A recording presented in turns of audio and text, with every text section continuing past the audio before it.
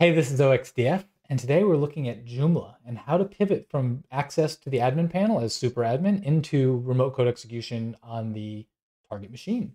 Um, the most common way to do this is probably just to edit one of the template files, add in some PHP, get yourself a web shell, execute commands.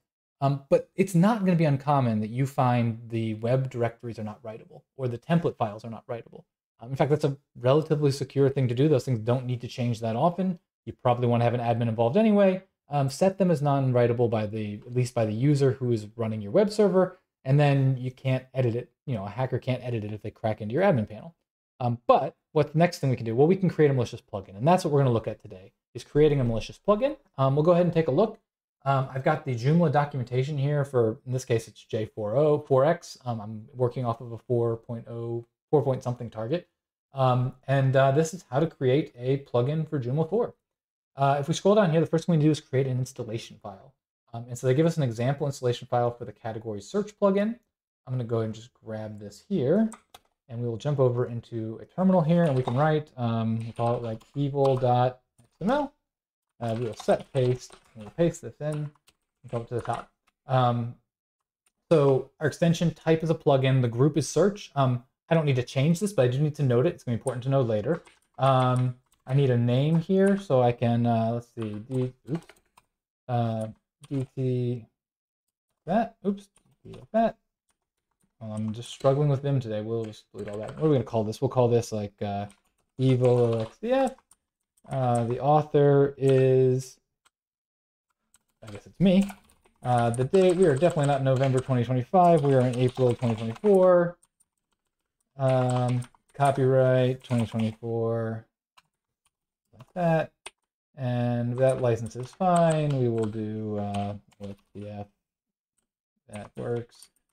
Um, we can always always throw a plug for my website in here.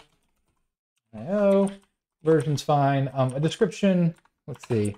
Uh, delete that, and we can say um, git execution. Again, it's not really matter. Um, I'm going to skip over this files is important. We'll come back to that. I'm going to go ahead and just delete out. We don't need these languages and stuff. Um, that is, if we wanted to do more complicated interactions, we certainly could use that stuff, but we don't need it for what we're going to do today. Um, two important things to mess with here. First of all, the plugin name is going to be right here. So whatever we put here, um, we're going to need to know to make later. Um, it, this name doesn't actually matter, it seems like. So uh, just I'll make them different just to see. So we can say like this is evil uh, web shell. We'll call it web shell. And then here we'll call this like uh, evil.php. And so now we have um, our file. And I will, in fact, leave this up here. So we have the information available. Um, jumping back to the documentation, the next thing we do is create the plugin.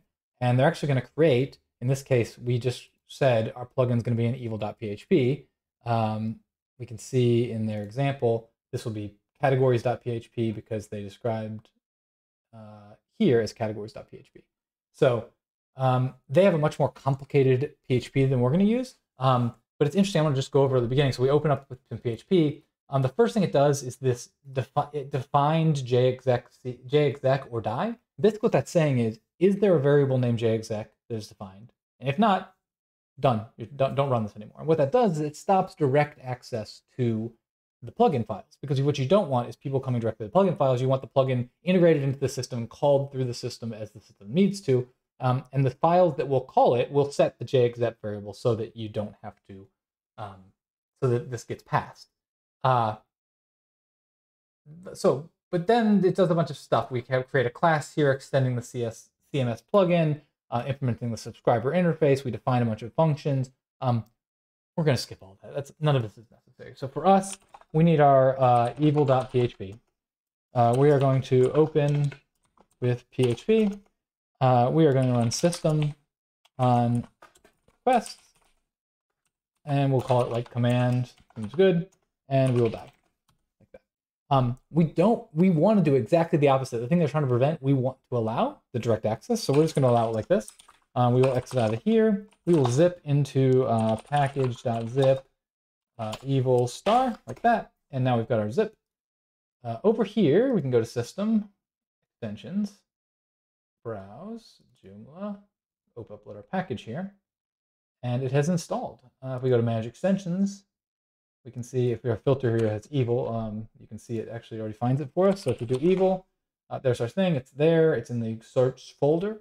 Now all we need to do is do uh, dev.dev vortex uh, plugins, and whoops, let's see. So now we got plugins. The next thing is the group. So that's the search we already talked about.